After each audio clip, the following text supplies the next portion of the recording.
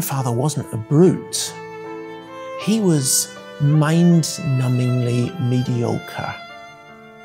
He was an ordinary man who moved from one bad thing to the next, to the next, to the next. He slipped into a category of crimes that had he perhaps at the very beginning been shown where he would be going, he might have been a bit shocked.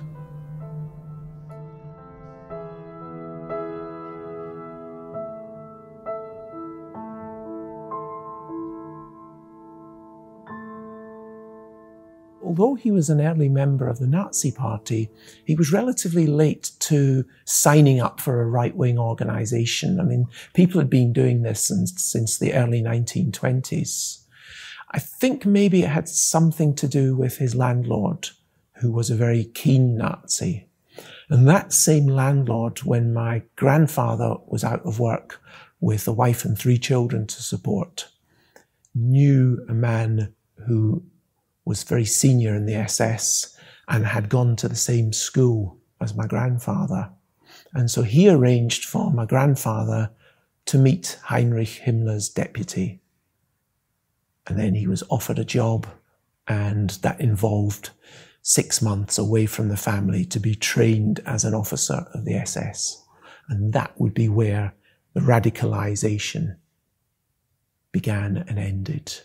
And he went willingly. He must have done. He was, he was 35, 40, 40 years old by then. This wasn't an impressionable youth. This was a man who was mature and knew what he was doing. And so, you know, he, he had it in him to be radicalized. And I think it was something that maybe he was happy to, to do.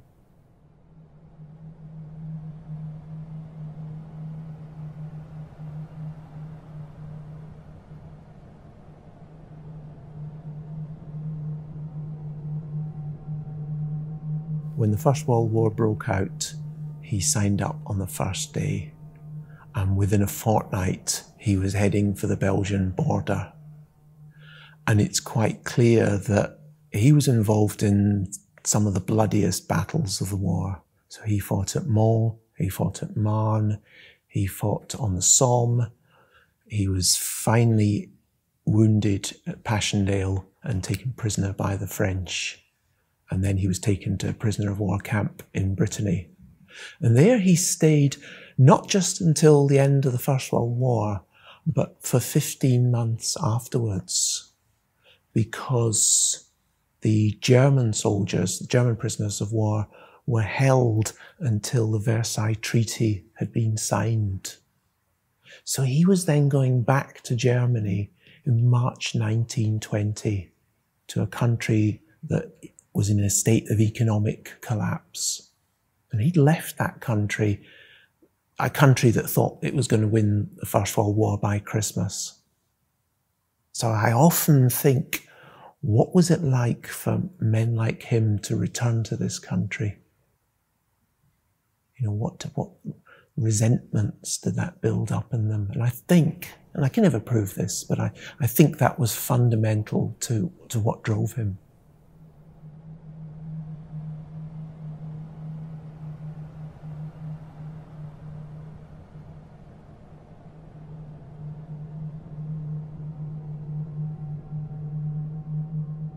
Well, initially he was an auditor for the SS at Dachau, not within the concentration camp, but next door. And part of his training, he would have he would have served as a guard at Dachau. So he would have got a sense of of what the SS was like and what a concentration camp was like. And the men were supposed to fraternize with each other. It was quite a small unit at that time. He, I calculated that he was socializing with at least 10 men who went on to be commandants of places like Auschwitz. So he was mixing with some pretty nasty characters. And then by 1938, the SS had by then realized that there was a huge intake of, of of Jews and, and other people that they considered undesirables. And they worked out that they could make money out of them. They didn't pay them, but they got them to work. And so the whole thing was then shifted to Berlin, and my grandfather was moved to Berlin to, to work within the, the central office, but most of his work was going to the various concentration camps. In effect, they were his factories, and the slave laborers were his employees. And he would go from camp to camp and make sure that they had materials to, to make things. And he would also um, act as an auditor for the SS. And if you know anything about accounting, you'll know that an accountant knows exactly how the company works. So he knew exactly what was going on in the concentration camps. So he knew the level of brutality and the atrocities that were taking place in the camps. Oh, yes, with, without doubt. I mean, there, there is a set of accounts that he prepared saying that at, at Lemberg, um, productivity stopped in November 1943 because of the special action. The word is Sonderaktion, which is a euphemism for a mass massacre. So he knew the number of men who were, who were shot. He knew the date. That kind of information was only available to the senior SS. He also had an account item for two railway carriages of clothes clothes of people who had been gassed at Auschwitz. So those minute details recorded dispassionately by this man said that he knew exactly what was going on.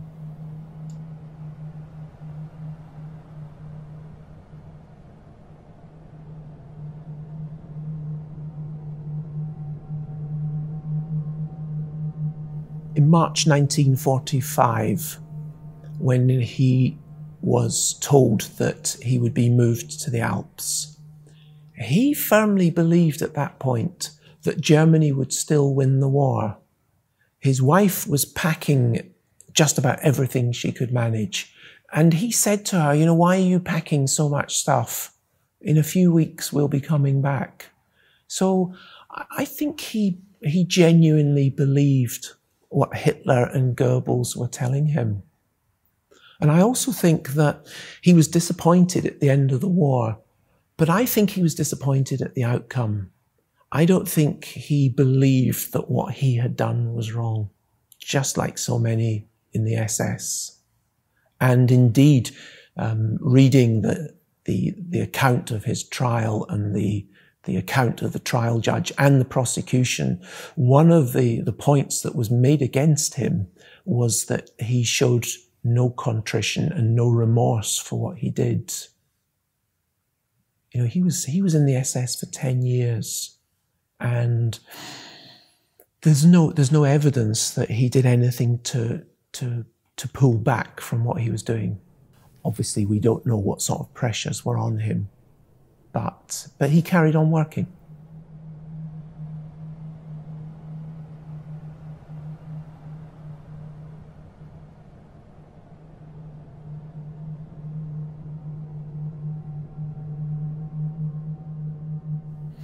Well, my dad kept everything under wraps about his childhood until his sister died uh, nine years ago.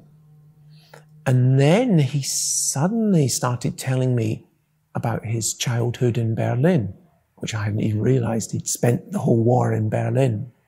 And, and eventually my, my wife had a conference in Berlin and, and I said to my dad, look, I'll, I'll go along and I'll take photo- photographs of your house.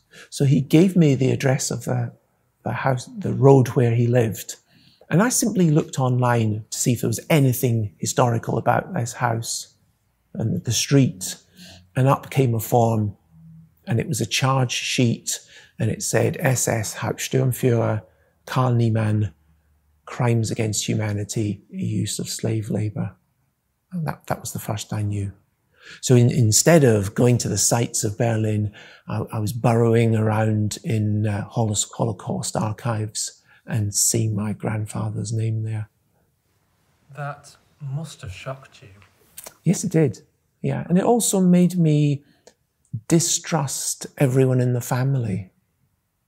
Because at that stage, I, I thought, you know, this is such a big big secret, and you've kept this hidden all my life. What else are you not telling me?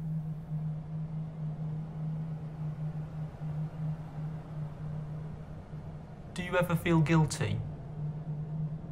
No, I don't. I think I felt guilty for a good few years, but I think I started to shed it when I felt that speaking about my grandfather's story, and particularly speaking to, to young people and to, to Jewish people, I, I, I could become, in a very, very small way, a force for good. I could say to people openly and honestly, I come from a Nazi background and I do not share those beliefs. And, and my belief is that we can, we can fight this hatred with kindness and understanding. And, and so all, all, my guilt disappeared. I mean, I, I never knew my grandfather. He, he died before I was born. Um, my father is, is, is no longer around. So I can't hurt him by telling him what his father was really like. Um, so no, I don't, I don't feel guilt at all now.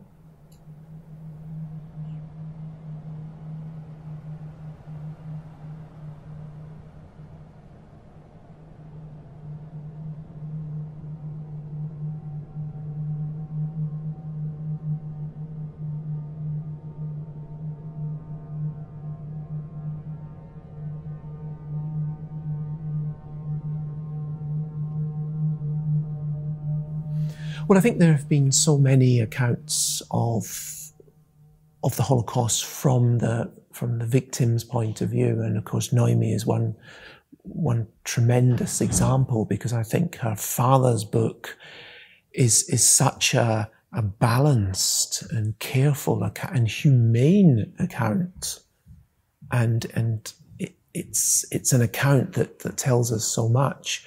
But there's very, very little from, from a perpetrator perspective.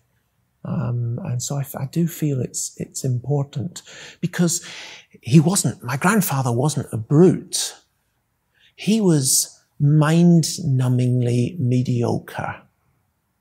He was an ordinary man who moved from one bad thing to the next, to the next, to the next. He slipped into a category of crimes. That had he perhaps at the very beginning been shown where he would be going, he might have been a bit shocked.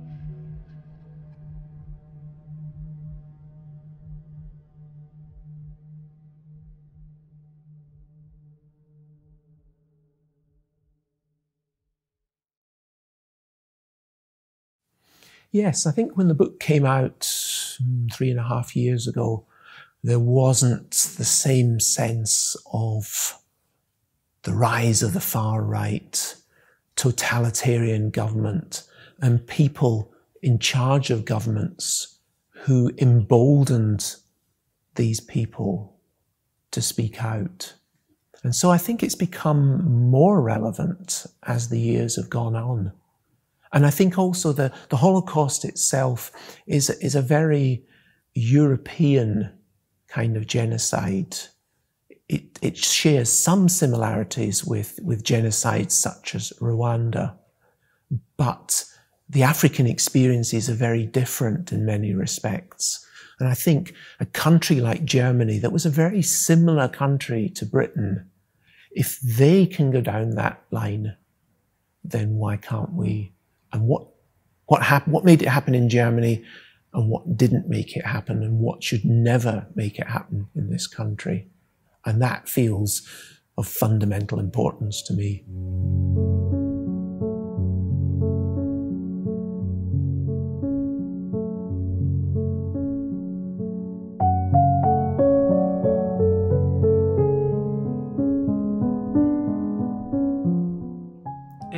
Grandfather was here right now, what would you ask him? Why? Why? How do you feel about what you did? How do you feel about your memories of going to concentration camps and, and seeing the human suffering? What did you feel for the people who were suffering? Did you feel anything?